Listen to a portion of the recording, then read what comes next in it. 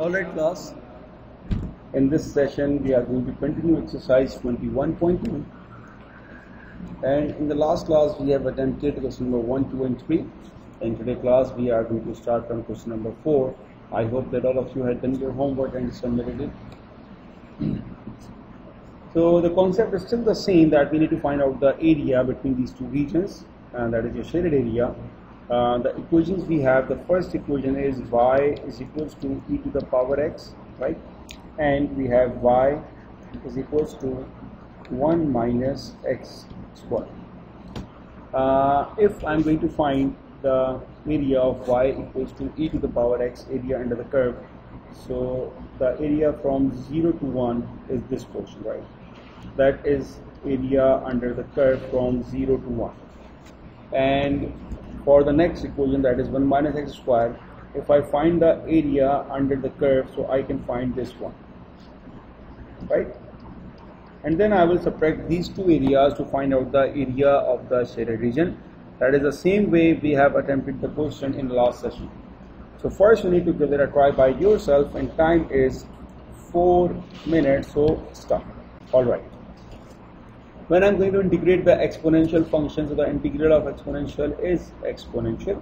And then the limits we have it's from 0 to 1 so the area it's e to the power 0 minus e to the power sorry 1 minus 0 so that will be e to the power 1 minus.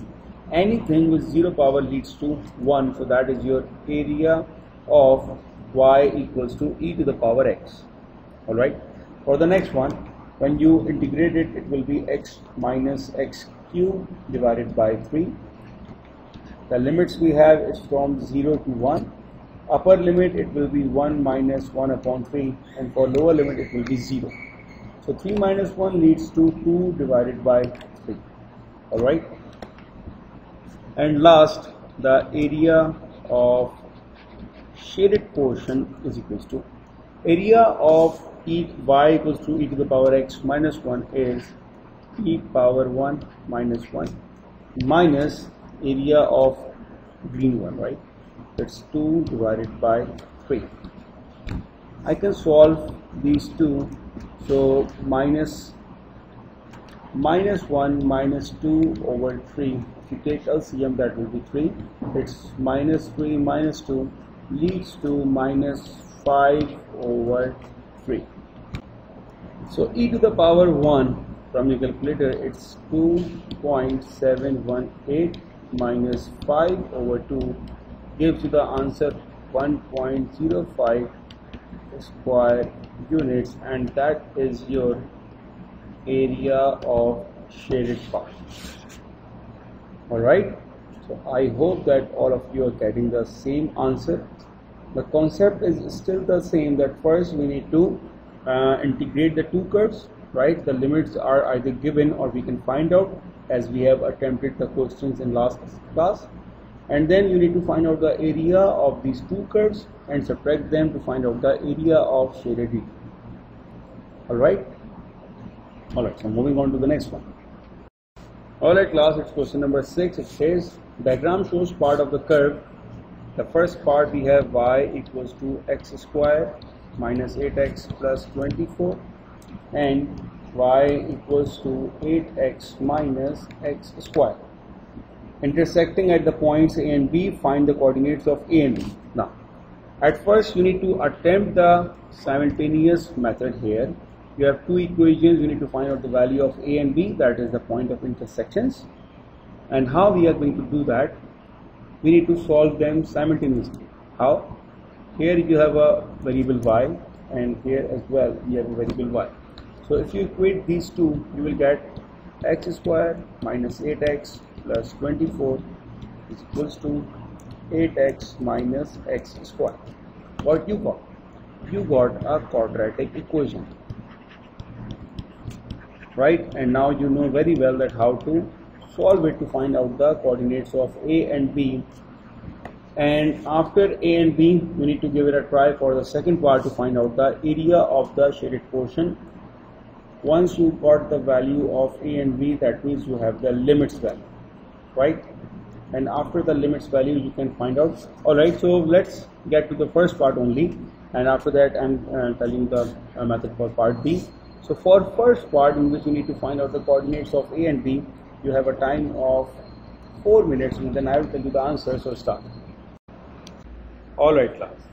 So at first we need to arrange the equation. So it will be x square minus x square it will be plus x square on the left side minus 8x minus 8x plus 24 equals to 0 it's 2x square minus 16x plus 24 equals to 0 we can take 2 common here so 2x square minus 8x plus 12 equals to 0 when we shift 2 on the right side it will be x square minus 8x plus 12 equals to 0 alright that is the quadratic equation. Now you need to apply middle term. So the two factors I got is x square minus 6x minus 2x plus 12 equals to 0 taking common now x x minus 6 minus 2 x minus 6 again taking common x minus 6 x minus 2 equals to 0 you got two values of x. The first value is 2 and the next value is x. Alright so you can see that the a coordinates its value it's 6 uh, 2 sorry and the b its value is 6 it says find the coordinates that means we need to find out the value of x and of y as well alright now I am going to pick this equation you can pick any equation if you want to pick the first one so this equation we have y equals to 8x minus x square. When the value of x is 2, so y is what? 8 2s are 16 minus 2 square is 4, 16 minus 4 is 12, right? And when x is equals to 6, y equals to 8 6 are 48 minus 6 square is 36. So 48 minus 36, it leads to uh, 12 right? So I can say that for A the coordinate of A it's 2 comma 12 and the coordinate of B is 6 comma 12 alright so that is your first part of the uh, question uh, the coordinates of A and B. And when you have the values of uh, limits 2 and 6 now it is quite easy to find the area of the shaded region alright and how we are going to do that. All right. First uh, the equation we have it's uh, you need to listen to me and then I will give you time to note it down in your copies. So listen to it you have the equation y equals to x square minus 8x plus 24 this one right? And we are going to integrate. So area is x cube minus 8x square divided by 4 plus 24x and the limits we have it's from 2 to 6 it's x cube minus 2x square plus 24x the limits we have is from 2 to 6 alright now I'm going to place the value of uh, limits in this question. 6 cube it's 216 minus 6 square 36 36 2s are 72 plus 24 times 6 uh, 24 into 6 it's 144 all right so that is my upper limit minus lower limit. 2 cube is 8 minus 2 square 4 2s are 8 plus 24 2s is 48 right? 8 and 8 cancels. Now 216 minus 72 plus 144 it's 288 288 minus 48 so that is equals to 240 of area of x square minus 8x plus 24 right? For the next equation we have y equals to 8x minus x square.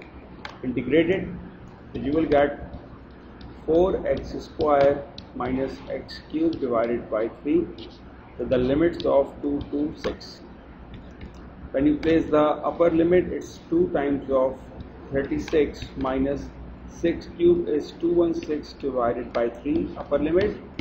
Minus lower limit is 2 square 4 4 are 16 minus 2 cube is 8 divided by 3 alright so 36 times 4 it's 144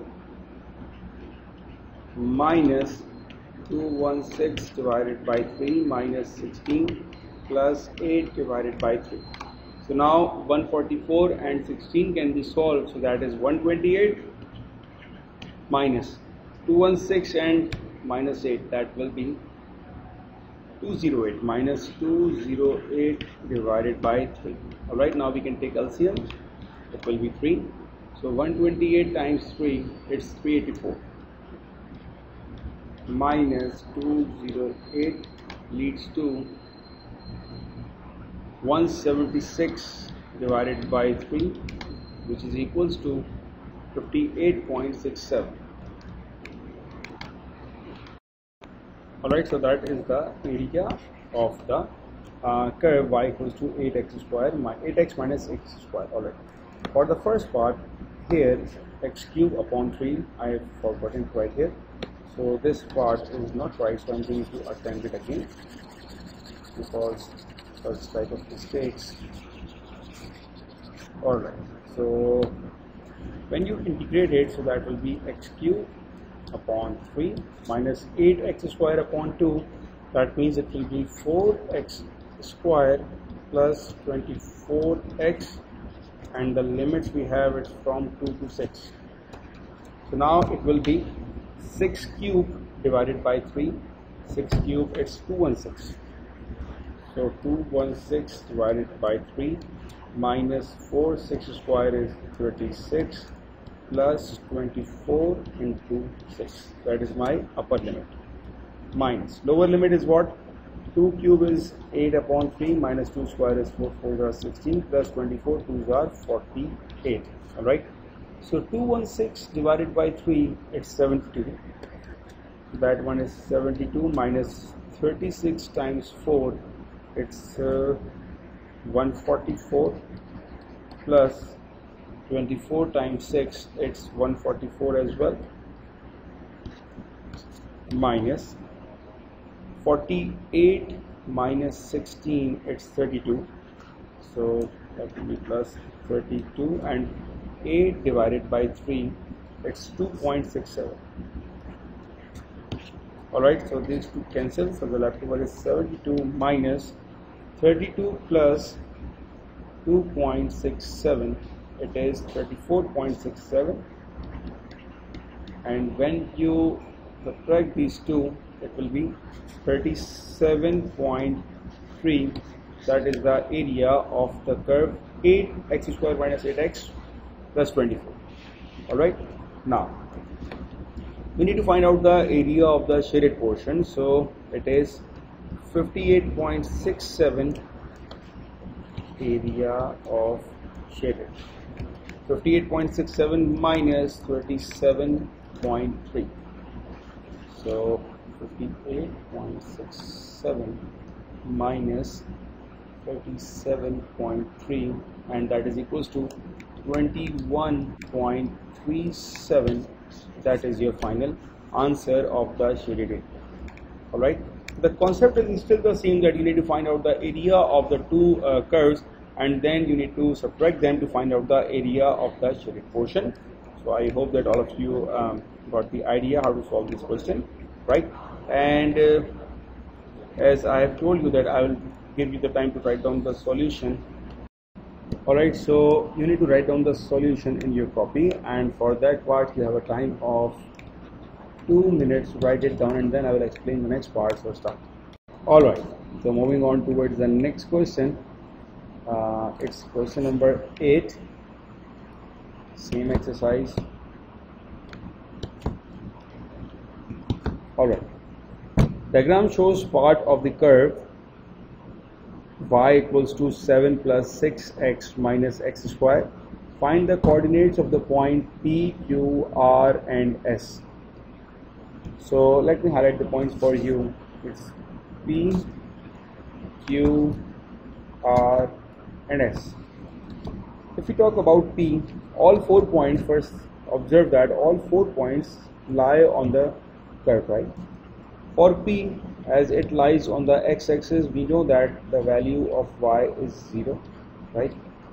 For Q still it lies on the x-axis the value of y is 0 for R and S R lies on y-axis so we know that for R x is 0 right? And R and S lie on the same line so that means uh, y coordinate of S and R is same. Alright so first we need to find out the coordinates of all those four points. I have uh, told you the necessary conditions so that it is quite enough for you that you can find out the coordinates. So you have a time of 3 minutes to find out the coordinates of these four points so start. Alright for P we need to place y equals to 0 so now the equation is 7 plus 6x minus x square equals to 0 I'm going to shift all the values on the right side so that will be x square minus 6x minus 7 equals to 0 now we need to apply a middle term here. That will be x square minus 7x minus x minus 7 equals to 0 x x minus 7 minus 1 x minus 7 uh, here we have plus x right? We need minus 6 so now it will be positive here right? And now again taking common so it's x minus 7 x plus 1 equals to 0 so you got the value of x minus 7 equals to 0 and x plus 1 equals to 0 so x equals to 7 and x equals to negative 1 from your graph we can see that the point P is uh, obviously 7 comma 0 and for point Q it's minus 1 comma 0 alright. So I have done for the part P and Q. I hope that you have done as well. For point R you need to opt the same method. For point R just you need to place x equals to 0 here. So the equation we have is y equals to 7 plus now 6 times 0 it will be 0 and 0 square is 0. So y equals to 7 that means the coordinates of r is 0 comma 7 alright. After that. For point S we know that the y coordinate is still same. So x is basically x comma 7 that means x is unknown but the value of y is known here right. We have the equation. Equation we have it's y equals to 7 plus 6x minus x square. The value of y we know it's 7 equals to 7 plus 6x minus x square 7 and 7 cancel so if I shift all the numbers on left side it's x square minus 6x equals to 0 we can take x common here that means x minus 6 equals to 0 so x is 0 and x equals to 6 basically 0 represent the coordinate for R and 6 is coordinate of S. So the final answer for S is 6 comma 7. Alright. So we have done the first part in which we find all the four points P, Q, R and S. Now for the shaded part there are three areas you can observe that are shaded right. For the first part you need to find out the area of this shaded portion here. If I draw a line from S, straight line, right? So this straight line strikes on x-axis at point 6. So we have the limit from 0 to 6, right? Or you can see that this shape, it's a rectangle, right? The area of rectangle you can easily find out. So what you will do for this part of shaded portion I'm telling you that what you are going to do to find this area first we need to integrate the equation y equals to 7 plus 6x minus x square right after integration place the limits value from 0 to 6 and once you had find out the area of this complete portion under the region then you need to subtract area of rectangle from this area. Alright find the area by integration and then subtract the area of rectangle. That is your first task. You have a time of 2 minutes for this question so start. Alright so when you integrate it it will be 7x plus 6x square upon 2 means 3x square minus x cube divided by 3 and the limits is 0 to 6 alright so upper limit 7 6 are 42 plus 6 square is 36 right? And 36 times 3 it's uh, 108 6 cube is 216 divided by 3 it's 72 you can add subtract those uh, 42 plus 108 minus 72 it's 78 that is your area for complete portion right? Now the area of rectangle is L into B that is the working formula. Length is what? It's 6 and width is the coordinate or the height is uh, 7 right? Because we have find the coordinates of R and S. So it's 6 sevens are 42 so area of shaded is 78 minus 42 alright so I hope that all of you are getting the method. 78 minus 42 gives you the value of 36 that is my first shaded portion. Alright after that I am going to find the area of this portion. I've highlighted it. Now the equation we have that given in the question is y equals to 7 plus 6x minus x square right? This portion lies on the negative y-axis right? So first I'm going to change all the signs or multiply the expression by negative sign so it's x square minus 6x minus 7 right? For this part of the portion which lies on the negative y-axis I change all the sign uh, multiply this original equation by negative sign and now I will integrate it. It will be x cube upon 3 minus 6x square upon 2 means 3x square minus 7x limits we have uh, its q coordinate is minus 1 so limits we have from minus 1 to minus 2 alright? No. Limits you apply from lower to higher. So the lower limit is minus 2 till minus 1 alright? So when you place the upper limit minus 1 cube it's minus 1 divided by 3 minus 3 minus minus plus 7 minus lower limit. Minus 2 cube it's minus 8 divided by 3 minus 2 3s are 6 no. 2 square is 4 and 4 3s are 12 minus minus plus 7 2s are 14 all right? You can simplify it. So 7 minus 3 is 4 and uh, 4 minus 1 upon 3 so that is equals to 3.66 or 3.67 minus here we have 14 minus 12 it's 2 and 2 minus 8 upon 3 so that is equals to minus 0.67 and 3.67 plus 0.67 it's 4.34 all right that is your shaded area for this part of the curve. All right so first we need to note it down in your copies and for this part you have a time of 90 seconds so start. All right now the last portion we have is this one. All right so for this part of the curve highlighted in red the equation we have it's uh, y equals to 7 plus 6x minus x square right? What we need to do? Uh, we need to apply the limits here and limits will be from 0 to q and q is negative 1 right?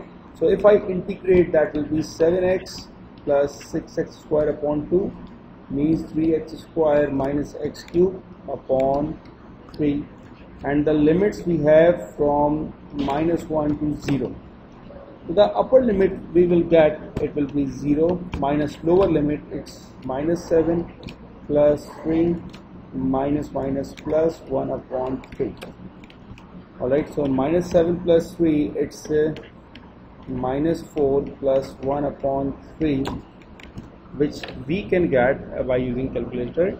So it's 4 minus, uh, 1 divided by 3 so it's 3.66 right? Minus minus 3.66 which is equals to 3.66 and that is your answer. Alright so you need to write down the solution in your copy and you have a time of 40 seconds to start. Alright so I hope that it is clear to you and this is the last question of today's session. For homework part you need to attempt question number 5 of the same exercise. Alright class see you next class. Take care